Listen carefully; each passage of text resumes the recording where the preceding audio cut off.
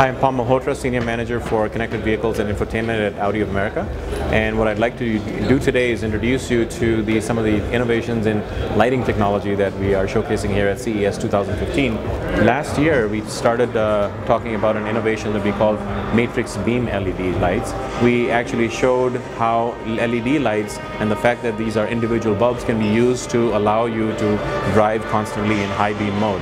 And as you do that, as soon as an oncoming vehicle is uh, detected, those particular LEDs that are interrupting the view of that oncoming vehicle are switched off in a smart way with the camera sensor that is in the vehicle looking at the position of the oncoming vehicle. This matrix beam LED technology is available today in Europe. Um, we have in this vehicle here, uh, which is a production R8 LMX, the first production implementation of laser light technology, and these are the laser lights that were introduced last year. One of the big advantages that you have with laser light technology is the reach and the range.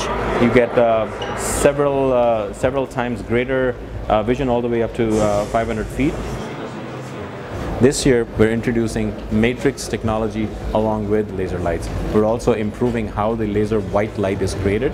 The older technology that is at this time in the R8, which was showcased last year, used a blue laser light and used its impact on a phosphor piece to create white light. Now, inherent in that process is some energy loss as you do that. So we've now come up with a new process where we can actually combine different light colors.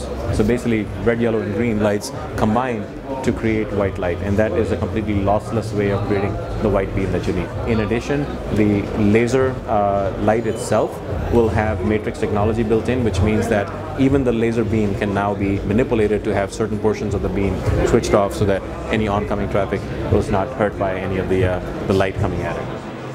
So that's the innovation we have in, uh, in LED lights, laser lights, and matrix technology.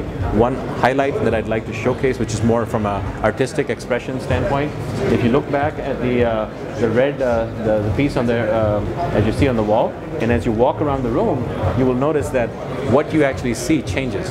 We're looking at that to say how could we actually express that on the exterior of the vehicle. It's kind of a concept, an interesting way of uh, using the technology, but um, not truly productionized at this point. There is one caveat regarding Audi's matrix lighting technology, and it's that NHTSA's outdated regulations currently don't allow them on US roads. But what is going to be in production very soon is Audi's laser technology. Once they dim the, uh, the, the, maximum lumen output on those laser headlights, they will be legal for use in the US. So expect those in the very near future.